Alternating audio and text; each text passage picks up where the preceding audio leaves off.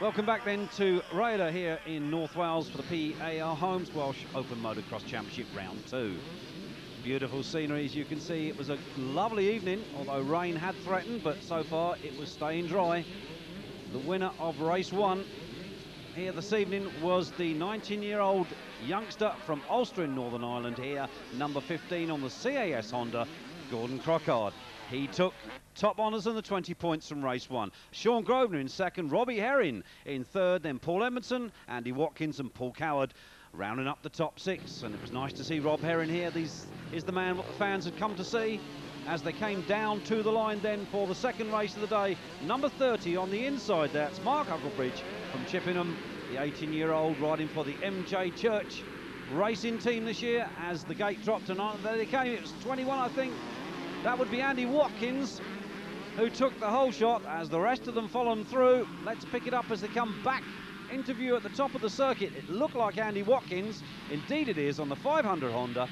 And that's Sean Grosvenor, the Bridgestone Honda-mounted AMCA rider in second place. Now where is the multi-British champion Rob Herring? He's riding bike number nine. So it's the two AMCA boys at the moment that lead the ACU professionals. No Neil Prince here tonight. He's out with an injury as Andy Watkins, number 21, leads them down with Grosvenor, number 61. The two Honda boys at the front leading the second round of this PAR Homes Welsh Open Motocross Championship. It's a midweek event run on Wednesday night. Very compressed three races they have for the championship, plus one race at the end of the day. They call it the dash for cash, but it's Grosvenor at the moment, climbing all over. Andy Watkins, we're looking back at the action behind. That's Adam Lyons, number four, on the TM. Herring is in amongst this group somewhere. Didn't get too good a start on the 500 hybrid Honda. Now it's, it's Grosvenor. Grosvenor now leads. So the young man, the local young man, as we should say, Sean Grosvenor, leads at the moment. He finished second in race one behind Gordon Crockard, the Irishman. And we are now looking for that number 15 CAS Honda of Crockard. He'll be lurking somewhere behind those two, but it's Grosvenor who leads at the moment with number 61 on the bike. We're looking back for second. It was Andy Watkins. Who is it now? Is Watkins still there? Has he managed to hold off the challenge of the riders behind him? Let's have a look. And yes, indeed he has. Watkins, another local lad, hangs on to second spot. Now, where is Crockard? And where, we ask, is Robbie Herring? Herring, former 125 British motocross champion, former 250, former open British motocross champion as well. There is Herring, just gone through, riding the revolutionary alloy framed 500 Honda. There's only about three of these in existence, specially built for Herring for this year. There is Crockard. No, it's not. It's number 35. That's Paul Coward. Coward. And he's got Mark Hucklebridge, number 30, right behind him. So Hucklebridge is fourth. Coward is third. There's the race leader, number 61. And there's Andy Watkins. And what, there's Hucklebridge.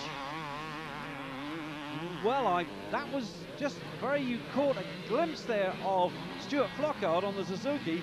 We're back with the race leader. It's really getting hot at the moment. Grosvenor determined to win at least one race here. Sean Grosvenor rides with the AMCA, that's the Amateur Motorcycle Association, whereas most of the other riders ride with the Autocycle Union, which is the governing body for the professional side of the sport. Mark Hucklebridge. In third, chasing second place man Andy Watkins. Hucklebridge, the third member and the eldest member of the Holt JCB team. It really is getting a bit frantic there at the moment. There's once again our race leader. We're looking back for second and third. There they are. The battle is still on between number 21, Andy Watkins, and number 30, Mark Hucklebridge. But Grosvenor totally unaware of what's going on behind him. There is Hucklebridge. Where is Watkins? Have we had a pass at the top of the circuit? No, Watkins has hung on to second. The question we keep asking ourselves is where is number 15, Gordon Crockard? The 19-year-old Ulsterman in his second year of racing here in the UK. Not familiar with most of the tracks but gradually beginning to get used to them as we've got a... Oh, I thought Hucklebridge was going to pass in mid-air then, but he didn't. Andy Watkins held him back, but Hucklebridge certainly would like to get higher than third place. Number 60, that's Ben Saunders from Ledbury on the 125 ARD Yamaha. He's only 15 years of age, and he's up there with the top 10 at the moment. Andy Watkins, number 21. It's still this young man that leads. Sean Grosvenor. We're looking back for second, and Grosvenor has pulled already quite a considerable gap over second place man. Now, is it still Watkins? Where is that number 30 bike of Mark Hucklebridge? And there he is, he's been off because that's Paul Coward, number 35, that's in front of him. I think that could be Rob Herring just in front of those two. Getting pretty dark here already. The, uh, the sun, there's not been much sun here. Number 74 going down the hill, that's Lee Jones from Merthyr Tydfil. He's on a Ray Hockley 125 Yamaha. 61 Grosvenor. You can see the gap between first and second. There is the battle for second, and it's now between still Andy Watkins, and I think that is, and I'm right, 15, that's Crockard. He's on the charge, looking for a way through on the inside. Is he going to take Watkins going into the jump? The answer is no. Watkins takes the longest route round the corner, but the quickest route. Now where? There is Herring, number nine. That's the first we've seen of Rob Herring. The World 500 Grand Prix rider this year. Considered to be one of the fastest men on a bike at one stage of his career, but uh, Robbie now riding with the open class. And here comes Grosvenor to the delight of the crowd. He's going to take the checkered. Celebration from Grosvenor. Crockard is going to take second, I think. Gordon Crockard, well, he won the opening race. He's had to finish second best to the man that finished second best to him in race one, Sean Grosvenor, but I'm sure Crockard won't be too unhappy with that decision.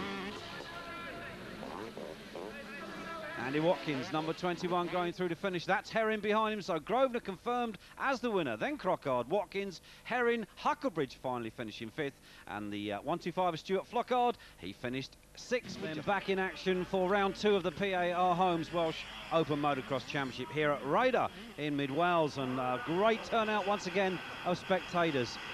And someone here obviously keeping an eye on these three young lads. The MJ Church riders, Tom Church, Mark Hucklebridge and Stephen Sword on number eight, looking and discussing tactics for the next race as they came down to the line for the third race of the day. It's the last race of the day for the PAR Homes Championship. The race after this will be the Dash for Cash, number 30 on the inside there. That is Mark Hucklebridge, Holt JCB team, but we've got Rob Herring, number nine.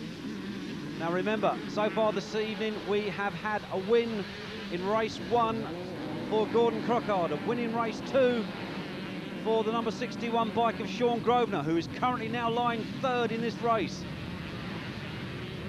So who is going to win race three? Herring crashed in race one, didn't get a good start in race two, but he leads race three. Number nine here, the 29-year-old from Flore in Northamptonshire, Robbie Herring, world-class former 125 250 rider, now riding the big hybrid 500 Honda. This is a 500 engine tucked neatly inside of the 250 all-alloy frame. A bit of a revolutionary machine for this year. Not a production model, but Herring really has settled at home on it.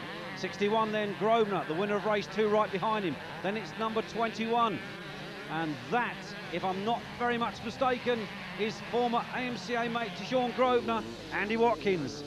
They flash through our pitch here. We're looking back for fourth. That looked like Gordon Crockard Paul Coward just went through number 35, but Herring has the lead on the big 500 RWJ Honda. Still Grosvenor behind him on the Bridgestone 250 Honda, but Crockard is lurking back there, the 19-year-old Irishman who leads the championship so far. But it's Grosvenor 61, still chasing the ACU expert in front. Herring, many times a winner of the British 125 Championship, also the 250 Championship, also a winner of the Open Championship and Sean Grosvenor twice a 250 AMCA champion. But Herring it is that leads. We're looking back behind him. This is a couple of one of the uh, Holt JCB boys, Mark Hucklebridge. He's got number five, that's Kevin Morris on the 250 Kawasaki right behind him. But here is Herring, determined to make amends this evening for not winning either of the first two races. Remember, he crashed in race one by doing a knick-knack over the uh, finishing tabletop. Crashed when he managed not to get his leg back over the bike. And he said in a statement afterwards it was more of a, a can-can't rather than a can-can. Paul Coward 35 just gone through. There's number 80 going through Alan Bush. He's got 71 behind him. That's uh, Andrew Manley. But we have a tussle on here because that's Crockard, number 15, the Irish lad from Ulster, Northern Ireland, Gordon Crockard, winner of race one of this second round series, but Herring leads, and the battle is now on for third. Andy Watkins, number 21, defending that position on the 500 Honda. He's got Gordon Crockard behind him. There's second place man, 61, Sean Grosvenor, a local lad, Sean. And 35, Paul Coward. Travelled a long way to be here tonight, all the way from Kirkby in Furness. That's about a four-hour drive to get down to this circuit. But Herring still leads. Grosvenor 61 behind him. Crockard's gone up to third. Watkins relegated down a place to fourth, so Gordon Crockard, he's on the gas. 44, that's the 16-year-old youngster Tom Church. There's Herring over the jump. Second place man, here comes Crockard. Closing on second place, the man now, the Irishman, wants to have a crack at Herring in front. 121, that's Stuart Flockhart, all the way from Scotland. He's the young man to look out for for the high-flying jump tactics. And the battle is on here. Look at Crockard. He's having a crack at Grosvenor as he passed him. He's going to take him on the inside. Yes! Into the uh, right-hand corner. It's quite rutted there. Crockard gets the drop on second place man. So the Irishman now second will be after Rob Herring, number nine. That's the man that leads this race, 44 Tom Church. He's got 1-2-1 Stuart Flockhart right behind him on the Team Suzuki machine. Here they come over the jump. 16-year-old against the 18-year-old. And there's Herring, and there's Crockard. Well, we were expecting a bit of a confrontation between those two.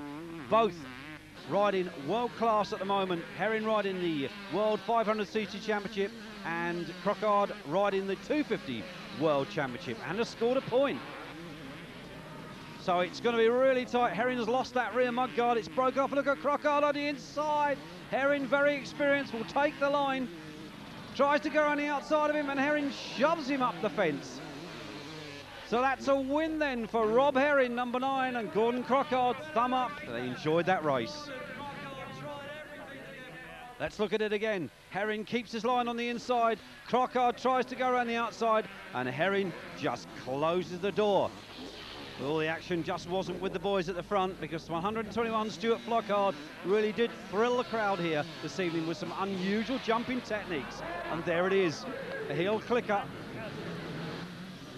in slow motion again, both feet off the pegs, over the bars, that's Stuart Flockhart. We spoke to Gordon Crockard. How did the race go? Yeah, I thought I might have had a chance. Um, I had I had plenty of time, you know, to, to line him up on that, you know, for the for the pass, because I had to make that pass on Sean Grosvenor as well. So I had an idea I might be able to get past there, but Robbie just being a, such an experienced rider that he is, you know, he knew how to deal with the situation, and he, he came out of it better than me. So can't really ask for any more. At least I had a stab at it. So it was good to good to have a, at least a chance to try and pass him anyhow. Well, a third in race one, a fourth in race two, and a win in race three. Well, what did Rob Herring have to say? Up and down night so far. Yeah, a little bit. Um, uh, stupid crash, just playing to the crowd in the first race, and just ended up falling off. And uh, second one, I wasn't ready on the start, and I got kind of left behind. And the races are really short, so I got to fourth, which is all right. And then the last one, I got a good start. And I just uh, rode my own race at the front, and Gordon was behind me. And the last couple of corners, he tried to sneak past, but I just made sure I had the inside all the time. So it's good for the crowd, though, good racing and nice and tight. And that's what we want, really. So all goes down to the last race now. Well, the confirmed result then Herring winning the, the uh, last race, Crockard second, then Grosvenor, Watkins, Coward, Stephen Sword rounding up the top six. The overall results, Crockard leads the championship at the moment, then Grosvenor, Herring, Watkins, Coward, and Hucklebridge, the top 125 rider on the night with 28 points.